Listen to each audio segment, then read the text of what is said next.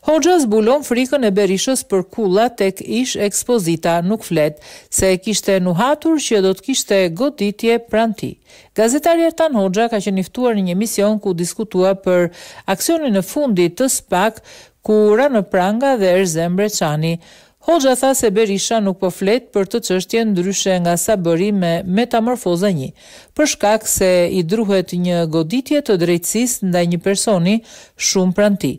Hoxha përmendi gjithashtu një kullë dhjetëra milionë euro e cila po ndërtohet tek zona e njohur si ish-ekspozita, ku sipas gazetarit Po investohen paratë e narkotrafikut. Nëpërmjet personazheve është kërkuar mbështetje politike në fushatë elektorale. Është rastësi apo e qëllimshme? Nëse në grupin e parë që u ka Berisha fliste çdo ditë këtë radhë goditja është nga këta që kanë mbështetur fushatën e opozitës Vijmë tek paratë. Është skemë interesante, janë personazhe që kanë shfrytëzuar të gjitha rrugët, nga paratë cash, por edhe nëpërmjet bankave. Nëse e ke vënë re, Berisha flet çdo ditë për operacionin e parë të SPAK-ut, për çështjen Metamorfoza, por nuk përmend dot të dytin.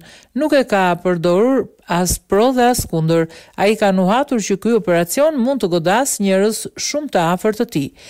Lidhet me investimet nga paratë e narkotrafikut në një kompleks shumë luksoz që shkon tek shtatëdhjetë e pesë milionë euro. Ata diskutohen. Është kullë me arkitekturë shumë interesante.